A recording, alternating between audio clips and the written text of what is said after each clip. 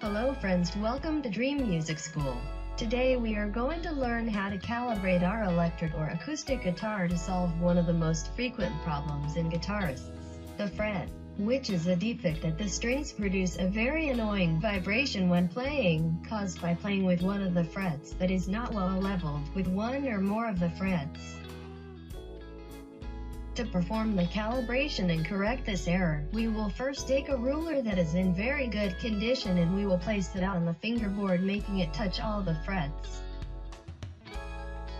Next we are going to use a sheet of ordinary plain paper and we are going to try to insert it verifying where there are hollow spaces and where there are convex spaces to determine the curvature of the fingerboard.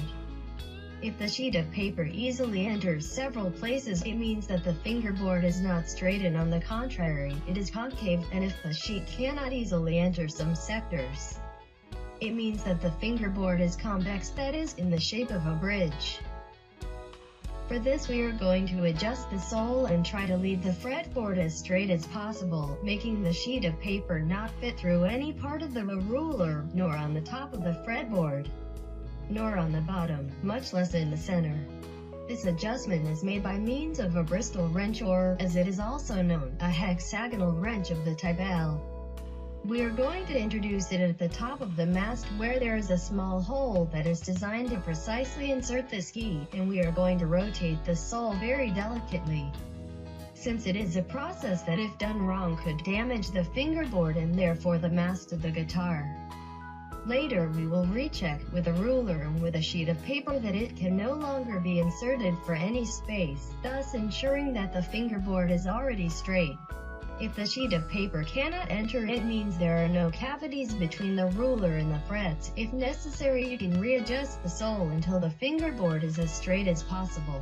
In this case we turn the sole to the right side when we want the fingerboard to reduce the curvature and turns to the left side when we want to increase the curvature on the fingerboard.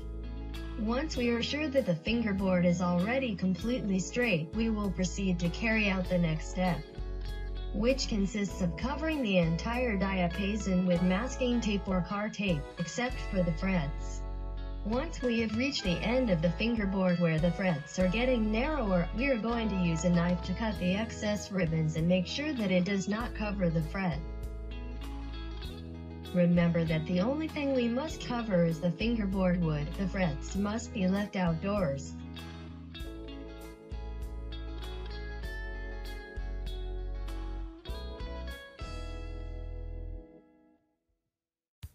The next step will be to paint the surface of each of the frets with a marker that has an ink very similar to the color of the fretboard.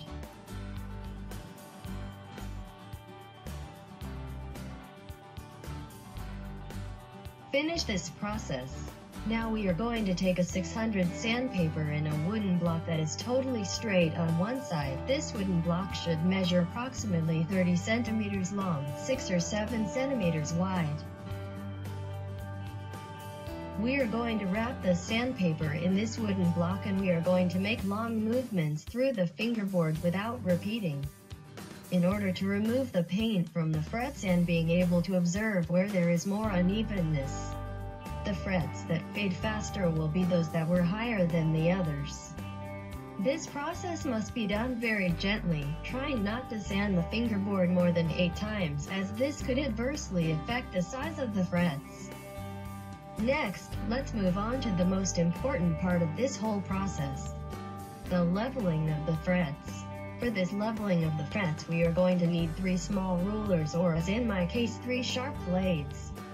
One that is 12 centimeters, one that is 8 and another that is approximately 5 centimeters long.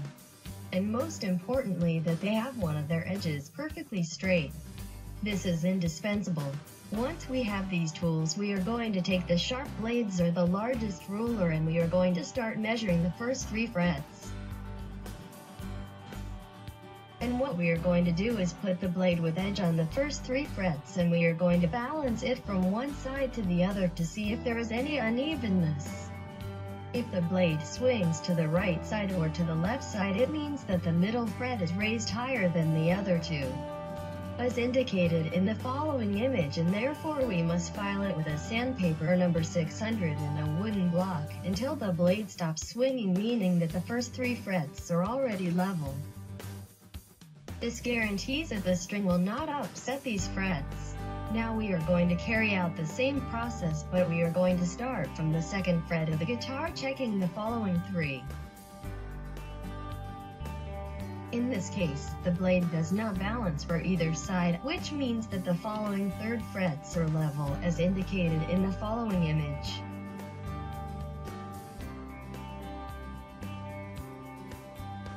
Therefore, we are now going to check from the third fret of the guitar down. In this case the blade does not balance for either side either, which means that this fret is also correct. Therefore, we move on to the next. We will now start from the 4th fret of the guitar downwards. At this point the blade does swing to a great extent for both sides. Which means the fret in the middle is higher than the other two. Therefore, we must sand it with the 600 sandpaper until the blade stops moving, which means that the three frets are already level.